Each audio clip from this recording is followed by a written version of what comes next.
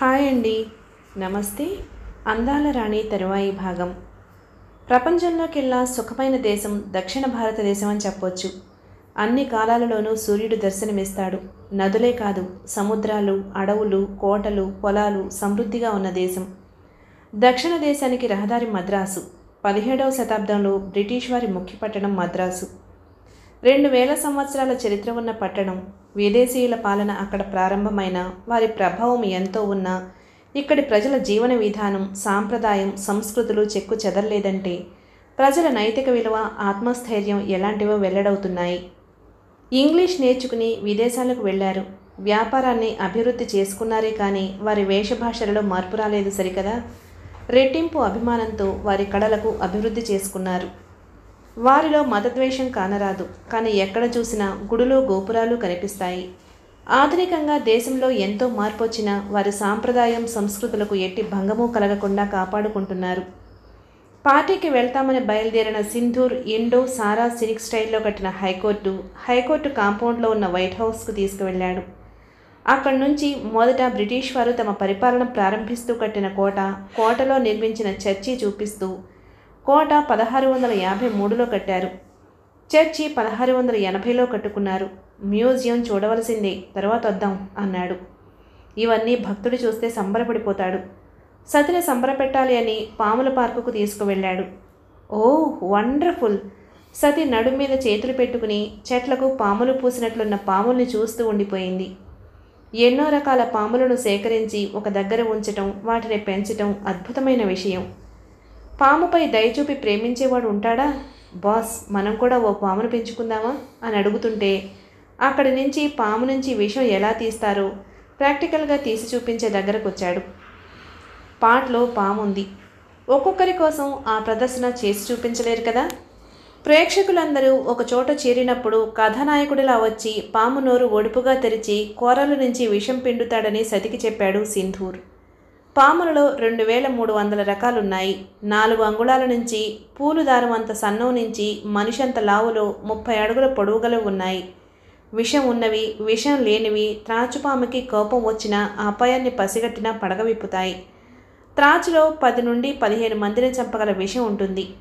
India త్రాచు ఆరడుగులుంటుంది. దీని గుడ్లు తోలుగుడ్లలా ఉంటాయి. పడగపైన కళ్ళజోడు పెట్టిన గుర్తులా ఉంటుంది. కింగ్ కోబ్రా పద్దెనిమిది అడుగుల పొడవు ఉంటుంది. దీనికి సర్సర్మని కోపం వస్తుంది. అంతలో విషం పిండే అతను వచ్చాడు. కొండలో నుండి పామును తీసి పట్టుకున్నాడు.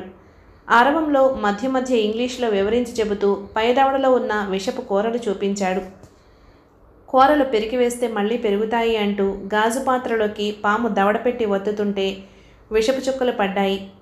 సేకరించిన విషాన్ని యాంటీవీనంగా తయారు చేస్తారని దాని వివరాలు చెప్పుకుంటూ స్నేక్ పార్క్ నుంచి వచ్చారు.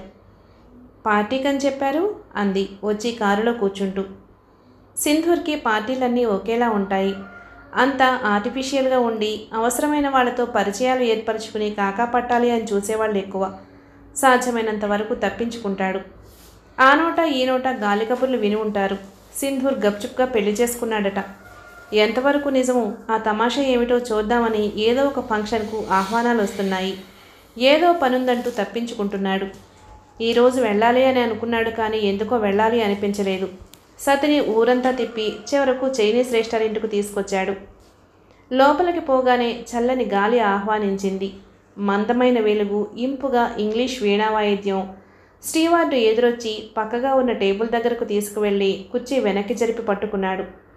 సతి కూర్చున్నాక మెనూ కార్డులు రెండు వారి ముందు పెట్టి వెళ్ళాడు. ఏ డ్రింక్ తీసుకుంటావు? Ice cream. ఐస్ క్రీమ్ చివరి ఐటెం కదా? ముందు డ్రింక్ హాటా సాఫ్టా? అవన్నీ నాకు తెలియవు. మీరే చెప్పండి. లైమ్ జ్యూస్ రెండు చెప్పాడు. అవి మెల్లమెల్లగా తాగుతూ కావలసినవి ఆర్డర్ ఇస్తూ మధ్య మధ్య సతిని అడుగుతుంటే భుజాలు ఎగరవేసింది. ఈ లైమ్ జ్యూస్ ఇలా ఉంది? తక్కినవి ఎలా ఉంటాయో? అమ్మి నిమ్మరసం రెండు గ్లాసులు లాగించేస్తుంది. ఇది తాగకపోతే ఏమనుకుంటాడో బాస్? అనుకుంటే అనుకోని. అనుకుంటూ సగానికి పైనే వదిలేసింది.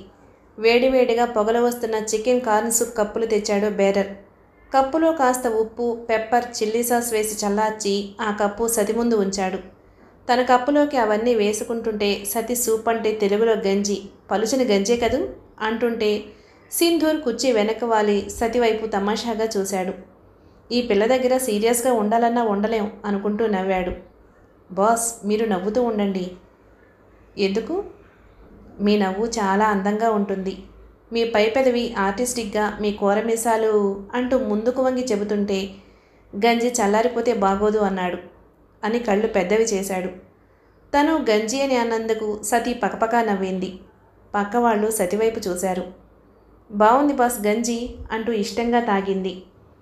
తరువాత salads fried rice chicken boneless with gravy prawn pakodi rolls ఒక్కొక్కటి తెచ్చి పెడుతూనే ఉన్నాడు. అన్నీ నచ్చాయి.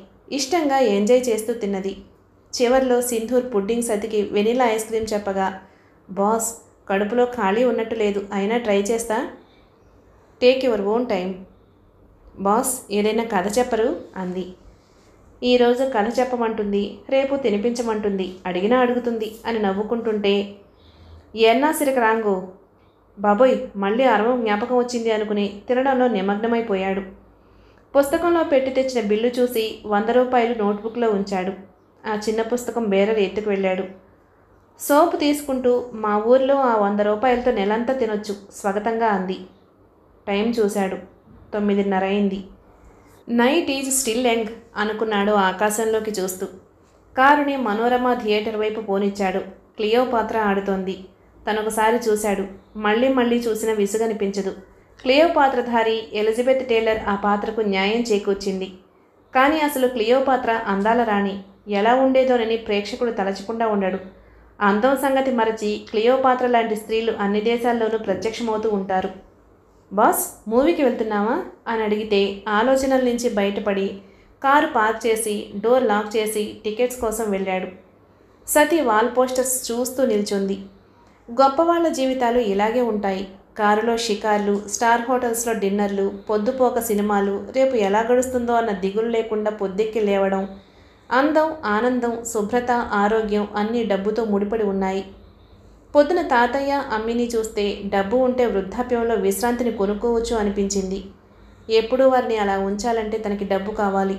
వారి సుఖ సంతోషాలకు తను ఏమైనా చేయగలదు. సిద్ధుకి ఆరు నెలలే కాదు సంవత్సరమైన భార్యగా ఉండగలదు. ఈ పని ఏమంత కష్టం? ఆడుతూ పాడుతూ తను రంగుల ప్రపంచం చూస్తుంది. సింధు టికెట్స్ తెచ్చాడు. హుషారుగా మెట్లెక్కి వెళ్ళింది. లైట్లు ఆరిపోయి సినిమా మొదలవుతూ ఉండగా సింధూర్ సతి భుజం చుట్టూ చేయి వేశాడు. ముందుగా Tom and Jerry cartoons picture చూస్తూ ఏలుక పిల్లిని తంటాలు పెట్టే విధం చూస్తూ ఆనందంగా నవ్వుతూ కార్టూన్ పిక్చర్లో లీనమైపోయిన సతి తనను చుట్టిన సింధూర్ చేయి భుజాన్ని ఒత్తడం కానీ దగ్గరకు జరగడం కానీ గుర్తించలేదు. ఆ సంగతి గ్రహించిన సింధూర్ చెయ్యి వెనక్కి తీసుకున్నాడు. అసలు సినిమా మొదలైంది. సినిమాలో సెట్టింగ్స్ వాటికి తగిన స్టీరియో సౌండ్ సినిమాకు ఎంతో ఎఫెక్ట్నిచ్చాయి. సతి ఎంతో ఇంట్రెస్ట్గా సినిమా కథను ఫాలో అవుతుంది. మనసంతా పిక్చర్ మీదనే ఉంది. సింధూర్ మనస్సు ఆడవాళ్ళు వారి అందం ధనం సుఖభోగాల మీద వారికి ఉండే ప్రీతి ఆసక్తి ఆశ తలుచుకుంటే ఆశ్చర్యం వేస్తుంది అందుకు ప్రత్యక్షంగా కళ్ళ ముందు క్లియోపాత్ర కనిపిస్తుంది. తనకే కాదు చాలామందికి క్లియోపాత్ర ఇష్టమైన పాత్ర. క్లియోపాత్ర ధైర్య సాహసాలు మగవారిని మించిపోయినవి. అంతేకాదు ఎంతటి మగవాడినైనా మైనపు ముద్దని చేసి ఆమెకు అనుగుణంగా మలుచుకున్న తీరు తనెప్పుడు దిగ్భ్రాంతుని చేస్తుంది. సీజర్ ద గ్రేట్ తన మాట మీద ప్రపంచాన్నే నిలబెట్టగలిగిన వీరుడు సాహసవంతుడు. తివాచీలో నుంచి వచ్చిన క్లియోపాత్ర వడిలో పండిన పండులా పడిపోయాడు. నోబుల్ ఆంటోనీ సింహబలుడు ఓటమి ఎరుగని వీరుడు. క్లియోపాత్ర కంటి మెరుపులో వెన్నలా కరిగిపోయాడు. చరిత్రకందని మరెందరో తన సౌందర్యాగ్నిలో మాడిపోయారు. అలాంటి క్లియోపాత్రకి ఆక్రోలియస్ బక్కుపలిచినవాడు ఒక లెక్క. శత్రువుకి లొంగిపోక మిన్నాగుచే కరిపించుకుని అతి సాహసవంతమైన చావు కోరుకుంటుంది. కానీ అందమైన శరీరాన్ని బంగారంతో అంతకంటే అందంగా అలంకరించుకుని అలా పడుకున్న క్లియోపాత్ర కథ మరొక విధంగా ముగిసి ఉండేది కానీ అందమే ఆమెకు శత్రువైంది. క్లియోపాత్ర అందానికి దాసోహమని తన కర్తవ్యం ధర్మాన్ని మరిచి భంగపడిన హర్మచస్ ఋషి వంటివాడు బాల్యం నుంచి దీక్షభూని అతని ఇష్టాపరుడైన గురువులతో సాంగత్యం చేసినవాడు. ఇహలోక పరలోక విషయాలు క్షుణ్ణంగా తెలిసినవాడు. జీవితంలో ఒకే ధ్యేయంతో గడిపిన హర్మచస్ పెర్రో వంశానికి వారసుడు. ఆ రాజ్యానికే రాజు కావాల్సిన వాడు మతాధికారులు బాల్యం నుంచి రహస్యంగా పెంచి విద్యాబుద్ధులు గరిపి వీరుడుగా తీర్చి రహస్యంగానే అలెగ్జాండ్రియాకు రాజుగా అభిషేకించి క్లియోపాత్రను హతం చేయటానికి పంపిస్తారు. దైవశక్తి ఉన్నవాడు కఠిన ఆశ్రమ నియమాలతో పెరిగినవాడు క్లియోపాత్రని చంపడానికి వెళ్ళినవాడు పడుకుని ఉన్న ఆమెను చూశాడు. ఆమె రూపలావణ్య సౌందర్యానికి కరిగిపోయాడు. అంతటి అందగత్తెను అతను ఎన్నడూ చూడలేదు. చెదిరిన నల్లని కురులు అంత నాజూకు సుకుమారమైన చెయ్యి తలకింద పెట్టుకుని చిరునవ్వుతో విచ్చుకున్న పేదాలను చూసి అతని కళ్ళు చెదిరిపోయాయి. తన వస్త్రంలో దాచుకుని తెచ్చిన బాకు ఆమె గుండెల్లో గుచ్చటం మరచి ఆమె సౌందర్యానికి ముగ్ధుడై దాసుడై కత్తి గుచ్చవలసిన చోట తన తలను ఉంచి తనను అర్పించుకున్నాడు. బాలబ్రహ్మచారి భ్రష్టుడైపోయాడు. క్లియోపాత్ర అతన్ని వాడుకుంది. తరువాత తన భర్తను చంపినట్లుగా హరమచస్ను చంపాలనుకున్నప్పుడు అది గ్రహించి హరమచెస్ దాసి సహాయంతో తప్పించుకుపోయాడు. తన తపస్సు ఒక స్త్రీకి ధారపోశాడు. తన మీదనే నమ్మకం ఉంచి ఆశగా దేశ భవిష్యత్తు తన మీద ఉంచిన గురువులను మోసం చేశాడు. అందాల రాణికి గుప్త ధనరాశులు చెప్పేశాడు. ఆ పశ్చాత్తాపం అతన్ని దహించేసింది. తిరిగి క్లియోపాత్రపై పగరగులుకుంది. పగ సాధించాలనుకున్నాడు. వేషం మార్చి జ్యోతిష్కుడుగా మెజీషియన్గా క్లియోపాత్ర దగ్గర చేరి నమ్మకం సంపాదిస్తాడు. యుద్ధంలో నుంచి ఆంథోనీ తిరిగొచ్చేలాగా చేస్తాడు. ఆంథోనీ చనిపోగా అతని మనసారా ప్రేమించిన క్లియోపాత్ర దుఃఖిస్తుంది. దుఃఖిస్తూ తన పరిస్థితి ఏమిటి? తనిప్పుడు ఏం చేయాలి అని ఆలోచిస్తుంది. మరణం గురించి ఆమెకి ఆలోచనే లేదు. అప్పుడు ఆమె దగ్గర ఉన్న హరమచెస్ ఆమెకు మరణం తప్ప మరో గత్యంతరం లేదు అని చెబుతాడు. బ్రతికి ఉంటే ఆమెకు జరగబోయే అవమానాలు ఎలా ఉంటాయో చెప్పి పిరికిమందు పోస్తాడు. ఆమె చనిపోవడానికి కాలకోట విషయం స్వయంగా అతనే తయారు చేస్తాడు. ఆమె క్విక్ డెత్ వెంటనే చావు రావాలి అని కోరుతుంది. ఆమె ఆశించినట్లు క్షణాల మీద చావు రాకుండా అతి మెల్లగా మృత్యువు ఏమిటో తెలిసి తెలిసి బాధపడుతూ ఉండగా అప్పుడు హరమ చేస్తానెవరో ఆమెకు చెబుతాడు. అంతేకాదు ఆమె చేసిన ఘోర కృత్యాలు ఆమెకు జ్ఞాపకం చేస్తూ ఉండగా ఆమె చంపిన వారి ఆత్మలను రప్పించి ఆమె కళ్ళ ముందు నిలుపుతాడు. చుట్టూ మూగిన ఆ ప్రేతాత్మలు ఆమె చూస్తూ ఉండగా అతి భయంకరమైన చావుకి గురవుతాయి. ఆ విధంగా పగ తీర్చుకున్న హరమజస్ తనను పెంచి పెద్ద చేసిన మఠాధిపతుల దగ్గరకు వెళ్తాడు. తనకు వారు వేసే శిక్షను ఇష్టంగా స్వీకరించడానికి వెళతాడు. మఠాధిపతులు హరమజస్ను బ్రతికుండగానే మమ్మీగా చేస్తారు. క్లియోపాత్ర ఎంతో ధైర్యంతో చల్లగా మెల్లగా మిన్నాగుతో కాటయించుకుని వీరమరణం పొందినట్లు సువర్ణాక్షరాలతో లిఖించబడిన ఘట్టం తిలకిస్తూ సతి నిశ్శబ్దంగా కన్నీరు కారుస్తుంటే నీవు చూస్తున్న అందాల రాణి మనస్సు అందమైంది కాదు.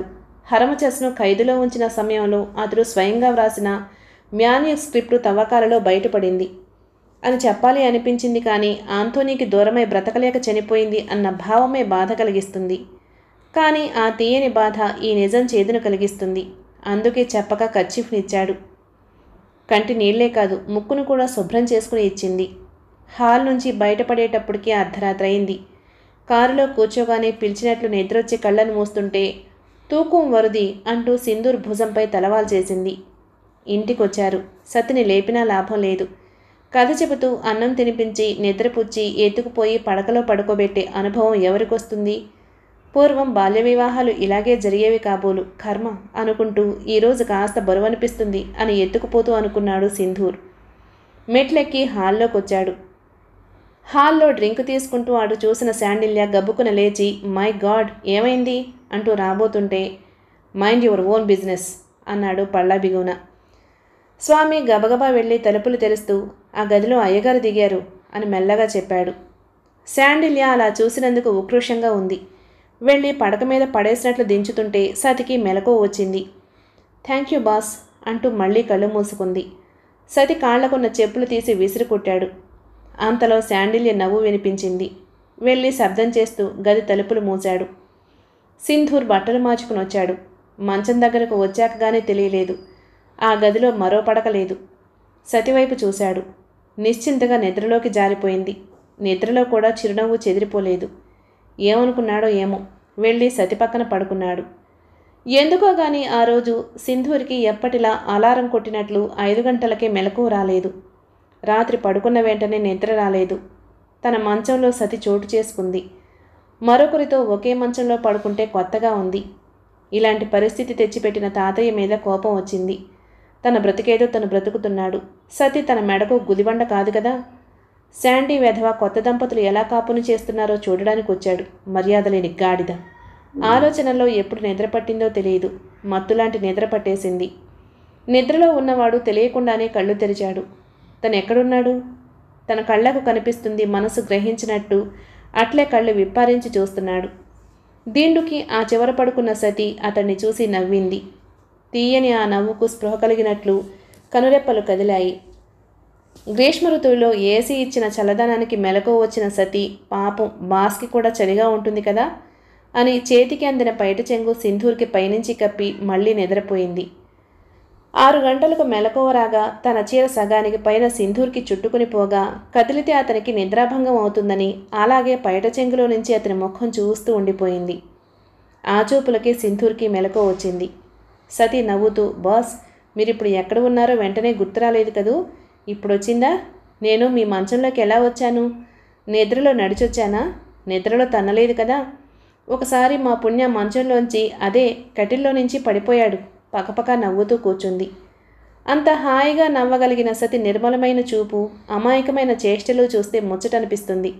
కానీ లోతుగా సతి గుండెల్లోకి చూడగలిగితే పైకి కనిపించేవన్నీ హృదయంలోంచి వచ్చినవేనా? బిగుతైన జాకెట్లోంచి తెల్లని వక్షం ఇరుకైన సందు కిందకు పోతున్న చూపుల్ని అరికట్టుకుంటూ కళ్ళు మూసుకున్నాడు. అతని భృకుటి ముడుచుకున్న తీరు చూసి బాస్కి ఒకప్పుడున్న మూడ్స్ మరోసారి మారిపోతూ ఉంటాయి. అతనికి వచ్చిన కష్టం ఏమిటో? గొప్ప సమస్యలన్నీ గొప్పోళ్ళకే. పడుకోండి బాస్. లేచి మీరు చేసే రాజకార్యాలు ఏమిటో నాకు చెప్పండి. టేక్ రెస్ట్ మై బాయ్ అంటూ పైకి లేచింది. మిగిలిన చీర కాస్త విప్పేసి బాత్రూంలోకి వెళ్ళింది. వెనుక తోటలో నుంచి రకరకాల అరుపులు నవ్వులు గాలిలో తేలి వస్తుంటే వర్మ మాటిమాటికి కిటికీలోంచి చూస్తున్నాడు. సింధు చెప్పేది రాస్తున్నాడు గాని మనసు నిలపలేకపోతున్నాడు. సతికి అంత నవ్వు తెప్పిస్తున్న విషయం ఏమిటో పైగా అన్ని రకాల అరుపులు. సతీ తుకారం కూర్చుని నిన్న తను చూసిన విషయాలు చెప్తుంటే తుకారం ఆసక్తిగా వింటున్నాడు.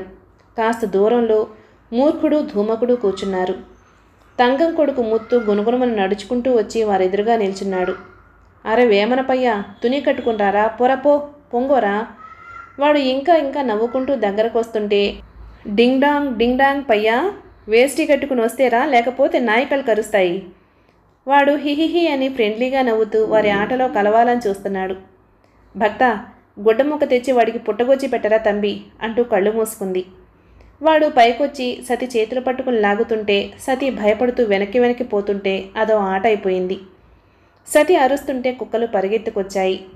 ముత్తు కెవ్వుమంటూ పరిగెత్తిపోతే అవి వాడి వెంటబడ్డాయి వాడు భయపడి అరుస్తుంటే సతి వాడిని ఎత్తుకుని పరుగుదీస్తే వారి వెంట కుక్కలు కుక్కల వెనక భక్తుడు అది అల్లరి. సతి వచ్చాక ఇల్లు ఇల్లులా లేదు బాస్. పని చేసుకోవడం కష్టమైపోతుంది. ఆఫీస్ మార్చుకుంటే మంచిదేమో అంటూ లేచి కిటికీ దగ్గరకు వెళ్ళి నిల్చున్నాడు. అతని చూపులు అంతలో ఏదో గుర్తుకొచ్చినట్లు పరుగున వచ్చి అల్మార్లో ఉన్న కెమెరా తీసి సరిచేస్తూ వెళ్ళాడు. తెల్లని అమ్మాయి. వెంట్రుకలు విరబోసుకుని ఉన్న స్వీట్ సిక్స్టీన్. ఆమె చంకలో నల్లని పిల్లాడు. తల పైకెత్తి వాళ్ళను చూస్తున్న కుక్కలు. ఆ ముఖాల్లో ఉన్న ఎక్స్ప్రెషన్ కెమెరాకు అందుతుందా కెమెరా క్లిక్ క్లిక్ మంది. అతని వెనకాల వచ్చి నిల్చున్నాడు సింధూర్. ఎప్పటి ఎప్పటి అప్పటి అప్పటి అంటూ ముట్టుకునే ఆటలో ముత్తు ఏడుపు మాని కేరింతలు కొట్టసాగాడు. పరిగెడుతున్న సతి ఆగి భర్త తడితడిగా ఉంది. కొంపదీసి వీడు. వాడిని కిందకి దించుతుంటే వాడు దిగరంటూ కాళ్ళు కింద పెట్టట్లేదు. భక్తుడు నవ్వుభారంతో కింద పడి దొర్లుతున్నాడు. ఒరే ముత్తుపయ్య దిగరా గాడిద సతి కేకలు. తంగం పరిగెత్తుకొచ్చి వాడిని ఎత్తుకుపోయింది నవ్వుతూ వచ్చిన శాండిల్య నడుం మీద చేతులు పెట్టుకుని పిల్లలతో కుక్కలతో ఆడుతున్నావా? పెళ్ళైన వాళ్ళు ఏం చేస్తారో నీకు తెలుసా? ఇది ఓ పొడుపు కథేనా? నేనెందుకు? మా భక్తుడు చెప్తాడు అంది. అది సీక్రెట్ చెప్పకూడదు తప్పించుకున్నాడు భక్తుడు. రెండు ముఖాలున్నది ఎవరికి? ప్రతి సవాల్ చేసింది. మూడు నాలుగు ఐదు ఆరు ముఖాలు. అవి తెలియవు. మరి పది నూరు వెయ్యి ముఖాలు ఎవరివో? ఏం చెప్పగలడు? బొటనవేలు తిప్పుతూ వెక్కిరించింది. క్షణాల్లో శాండిల్య కండ్లు ఎర్రనయ్యాయి. ఒక అడుగు ముందుకు వేసి జబ్బ పట్టుకున్నాడు. కోపంతో ముఖం కందిపోయి చెంప మీద గాయం వికారంగా కనిపించింది. భక్తుడు భయంతో నిల్చుండిపోయాడు. సతీ తొణకలేదు బెణకలేదు. తమాషాగా పక్కకి చూస్తూ నాయగాళ్ళు జాగ్రత్తై కుక్కలున్నాయి జాగ్రత్త అంది. ఆటలో అలసిపోయిన కుక్కలు నాలుకలు బయటకు పెట్టి రెస్ట్ తీసుకుంటున్నాయి. వాటిని సతిని చూసి పక్కుమని నవ్వాడు. నవ్వుతూ బుగ్గ పట్టుకుని లాగుతూ ఉన్నాయి కాదీ లిక్కరేన్. సతి కళ్ళలోకి చూస్తూ అన్నాడు. ఎన్నా సోల్రింగా అంది. బంగారపు మాటలు. మళ్ళీ మళ్ళీ చెప్పబడవు. అయితే ఇది పట్టుకోండి అంటూ తడిగా ఉన్న చీర కుచ్చెళ్ళు అతని చేతికి పూస్తూ ఇది నీళ్ళ పాసా? అంటూ పరిగెత్తిపోయింది. స్నానం చేసి బట్టలు మార్చుకుని ఆఫీస్ గదిలోంచి సింధూర్ దగ్గరకు వెళ్ళి చెవిలో బాస్ పెళ్ళైన వాళ్ళు ఏం చేస్తారు? అంది. సతి అతి రహస్యంగా చెవిలో చెప్పిన మాట వర్మకు వినిపించింది. సింధూర్ డిక్టేట్ చేస్తుంటే రాస్తున్నవాడల్లా ఏదో పనున్నట్లు అక్కడి నుంచి వెళ్ళిపోయాడు. నిదానంగా సతి ముఖంలోకి చూస్తూ నీకు తెలీదా? అన్నాడు. తెలుసు సెక్స్ ఎడ్యుకేషన్లో లైసెన్స్ తీసుకున్నారు. పైగా లాంగ్ షాట్లో గడ్డివామల చాటున. సింధూర్ ముఖంలో ముందు ఆశ్చర్యం తరువాత ముఖం కందిపోవడం ఆ తరువాత సూటిగా తన వైపు చూడలేక ఇబ్బంది పడుతుంటే సతి పకపకా నవ్వుతుంటే తెలుసు కదా నన్నెందుకు అడగడం? కోపంగా చూశాడు. మనకు తెలిసింది పెళ్ళి కాని వాళ్ళు కాదు కనుక రిడిల్ ఇంత సులభంగా ఉంటుందా? శాండీ అడిగాడు. ఎదురుగా బల్ల మీద కూర్చుంటూ ఏమై ఉంటుంది? ప్రశ్నార్థకంగా చూసింది. సింధూర్ వాచీలో ఏ తారీఖో చూసి డైరీలో తనకున్న ఎంగేజ్మెంట్స్ చూసుకుంటూ పేజీలు తిప్పుతూ ఊటీ కొడైకెనాల్ వెళ్దామా? అన్నాడు. బాస్ తెలిసిపోయిందిలే అన్నట్లు చూసింది. స్మార్ట్ గర్ల్ అంటూ నవ్వాడు. ఊటీలో కొన్ని రోజులు చదువు వెలిగించానులే అదంతా బోర్. ఒక సిటీ చూస్తే మరో సిటీ చూడనక్కర్లేదు. ఈస్ట్ ఇండియా టూర్కి. కాదు హనీమూన్కి వెళ్దాం. ఎప్పటి నుంచో బాజీరంగా గేమ్ శాంక్చురీ చూడాలి అని ఉంది. ఎప్పుడు వెళ్దాం? నువ్వు ఎప్పుడు రెడీ అయితే అప్పుడు? ఐఎమ్ రెడీ అంటూ బల్ల దిగి ఎదురుగా నిల్చుంది. రేపు. థ్యాంక్ యూ బాస్ అంటూ బొగ్గ మీద ముద్దు పెట్టుకుని చెంప వాసన చూస్తూ చక్కని వాసన వేస్తున్నారు అంటుంటే శాండిల్య నవ్వు వినిపించి అటు చూసింది. అంత ఎత్తు లావు ఎర్రగా బుర్రగా ఉన్నారు. మేనర్స్ మాత్రం శూన్యం. తలుపు కొట్టి రావద్దు. కొత్తగా పెళ్ళి చేసుకున్న వాళ్ళు ఇంట్లో హనీమూన్ చేసుకుంటున్నారు అన్న గ్రహింపు లేకపోతే ఎలాగా? నడు మీద చేతులు పెట్టుకుని పెద్ద ఆరిందాలా ప్రశ్నించింది. ఓ సారీ పెద్దగా నవ్వుతూ వెళ్ళాడు. బాస్ హనీమూన్కి భక్తుని కూడా తీసుకుపోదామా ప్లీజ్? మూర్ఖుడు ధూమకుడు కూడా వస్తానంటారేమో ఎగతాళిగా అడిగాడు. అవును వాటిని ఎక్కడ ఉంచాలి? స్వామికి అలవాటైతే ఉండిపోతాయి వాటి గురించి ఆలోచిస్తూ బయటకు వెళ్ళింది. ఆ రోజు నర్సింగ్ హోమ్కి వెళ్ళి తాతయ్య వాళ్ళతో గడిపి మీరు సంతోషంగా ఉండండి మేము కొన్ని రోజులు అవుట్డోర్ షూటింగ్కి వెళ్తాం మేము ఎక్కడ ఉంది ఏం చేస్తున్నది ఎప్పటికప్పుడు తెలియబరుస్తూ ఉంటాం అంటూ ఎన్నో కబుర్లు చెప్పి పుణ్య కళ్ళు మూసుకో అని చెప్పి కుడి చేతి వేలికి వెంకటేశ్వర స్వామి ఉంగరాన్ని పెట్టి ఇప్పుడు తెరవండి అంది. ఆనందమో దుఃఖమో కానీ కాసేపు మాట్లాడలేకపోయాడు. Thank you thank you Nanayya అంటూ తల మీద తన చేతి నుంచాడు. వచ్చేటప్పుడు సతీ సౌభాగ్యమున అక్కను చేర్చుకుని అమ్మి నీకేం కావాలో చెప్పు అంది. నా బంగారు తల్లిని ఒక బంగారు తండ్రి చేతిలో ఒప్పచెప్పి బంగారు తల్లికి ఒక బంగారు తండ్రి వారికి ఒక బంగారు పాప ఆ పాపతో బంగారు పాపయ్య. అలా ఆ బంగారు గొలుసు పెరిగిపోతూ ఉంటుంది. అమ్మికి ఆడబుద్ధి పోలేదు పుణ్య. ఎంత బంగారం కావాలి అని కోరుకుంటుందో చూడు. సీత బంగారు జింకనే కోరింది. అమ్మి బంగారు మనుషుల్నే కోరుతుంది అని అమ్మిని ఉడికించి తాతగారిని నవ్వించి చక్రాల కుర్చీలు ఆసుపత్రి కారిడార్స్ అన్నీ తిప్పి గదికి తీసుకొచ్చి నేను వచ్చే లోపల నువ్వు నడిచొచ్చి నాకు నలవరకు చెప్పాలి అని చెప్పి తాతయ్య నుదుట ముద్దు పెట్టుకుని హుషారుగా భక్తుడి భుజం మీద చేయి వేసుకుని ఇంటికి తిరిగొచ్చింది. రెండు రోజులు కుక్కల ఆలనా పాలన తంగంకి అప్పగించి అలవాటు చేసుకోమంది. ఏ పని చేస్తున్నా తింటున్నా ఆడుతున్నా ప్రయాణం గురించే మద్రాసు నుంచి కలకత్తా వరకు విమానంలో ప్రయాణం. కావాల్సిన సూట్ కేసులు బ్యాగు సర్ది తాళాలు వేసి ఎప్పుడు సింధూర్ గ్రీన్ సిగ్నల్ ఇస్తే అప్పుడు బయలుదేరడానికి తయారుగా ఉన్నారు. సతీ సోఫాలో పడుకుని మోచేతులపై ముఖం ఆనించి కాళ్ళు ఊపుతూ నవలు చదువుతోంది.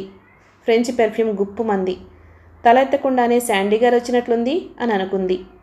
సతీ నీకు బెస్ట్ విషెస్ చెప్పడానికి వచ్చాను. వింటున్నాను.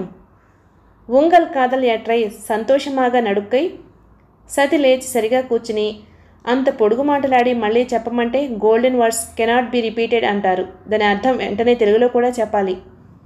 శాండిల్యా చెయ్యి ముందుకు చాచాడు. షేక్ హ్యాండ్ ఇస్తున్నట్టుగా సతి చేతిలో చెయ్యి ఉంచింది. చెయ్యి పట్టుకుని పక్కన కూర్చున్నాడు.